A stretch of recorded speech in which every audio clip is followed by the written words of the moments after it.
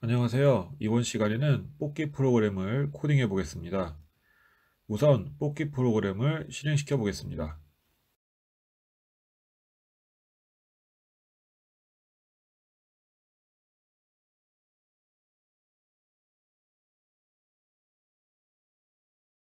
방금 보신 프로그램은 최대한 간단한 방식으로 뽑기를 할 수 있도록 코딩한 것입니다. 그럼 지금부터 본격적으로 뽑기 프로그램을 코딩해 보겠습니다. 먼저 뽑기 코딩에 필요한 object를 추가해 보겠습니다.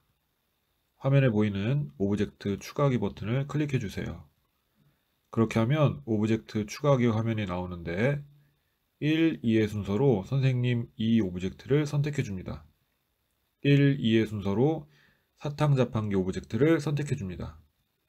마지막으로 1, 2의 순서로 교실 배경을 선택해 주고 추가하기 버튼을 클릭해 줍니다. 그렇게 하면 보시는 것처럼 object들이 등장합니다. 이제 빨간 네모로 표시한 사탕 자판기의 크기를 조정해 보겠습니다. 크기에 90을 입력해 줍니다. 그리고 빨간 네모로 표시한 것처럼 사탕 자판기의 위치를 화면 오른쪽으로 옮겨줍니다. 다음으로 선생님 2의 크기를 조정해 보겠습니다. 빨간 네모로 표시한 선생님 2의 크기를 180으로 바꾸어 입력해 주세요.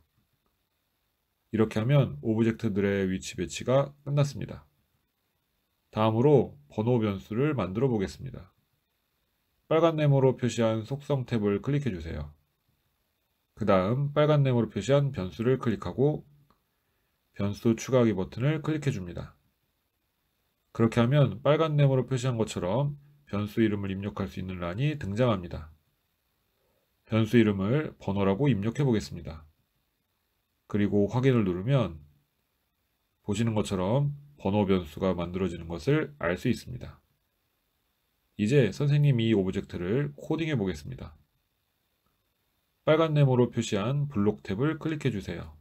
선생님 이 object를 한번 클릭해 주세요. 이는 다른 곳에 잘못 코딩하는 실수를 방지하기 위해서입니다. 시작 메뉴에서 시작하기 버튼을 클릭했을 때 블록을 가지고 옵니다.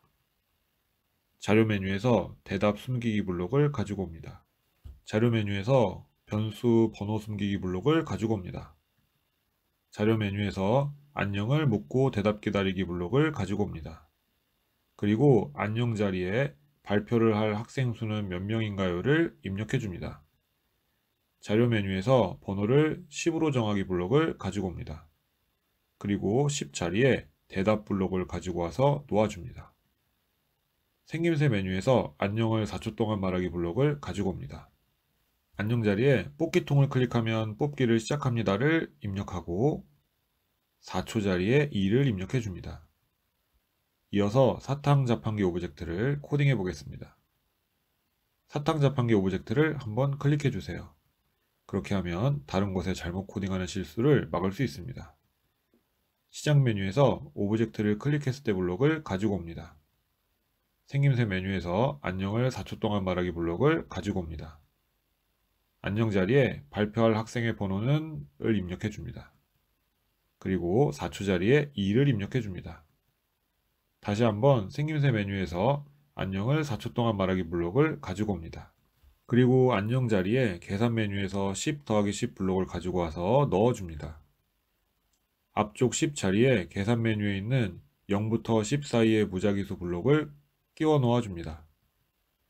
0 자리에 1을 입력해 줍니다. 빨간 네모로 표시한 10 자리에 자료 메뉴에서 번호값 블록을 가져다 놓습니다.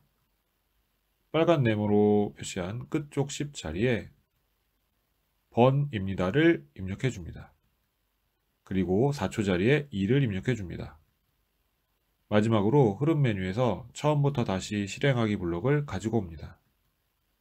이제 뽑기 프로그램 코딩이 끝났습니다. 완성된 프로그램을 실행시켜 봅시다.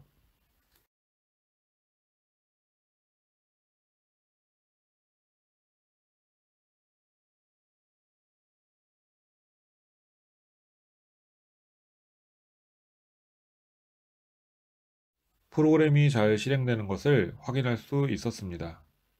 영상을 반복하여 배운 내용을 확인하시기 바랍니다. 감사합니다.